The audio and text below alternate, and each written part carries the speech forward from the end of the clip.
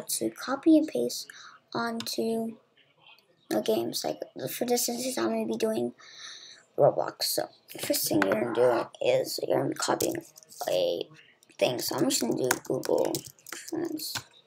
You don't have to go do Google Translate, but I'm just to do it.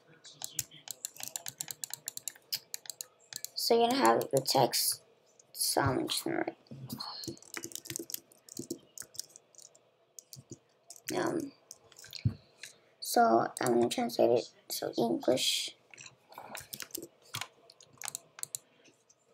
English to, I like Spanish, I guess.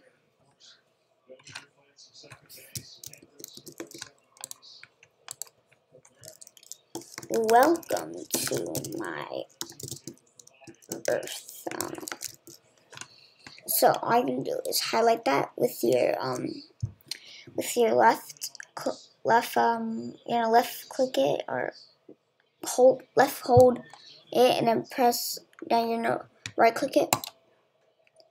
Oh I'm gonna do that sorry. Copy. When you copy and paste go back to Roblox. Me instance go to I'm gonna go to adopt me I don't know if that copied or pasted right. I don't know. Sometimes it doesn't copy and paste correctly, and then it just messes up my thing. Let me make sure. Just I'm just okay. There we go. Copy it. And just wait.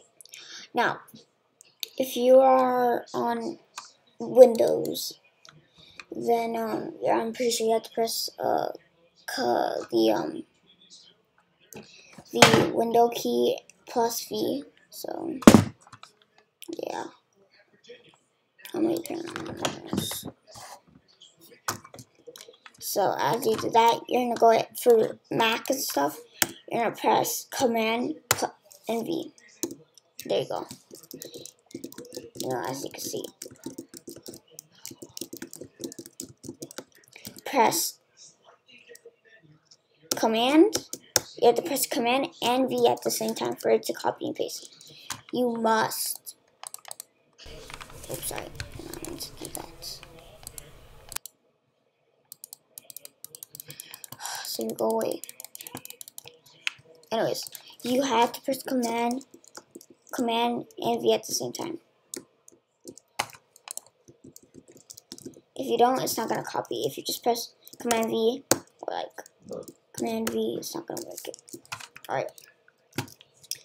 And that's pretty much how you do it. Um, not much. Well, if that helped you, make sure to subscribe and, um, yep, and comment down below what parts you didn't get. Alright, peace.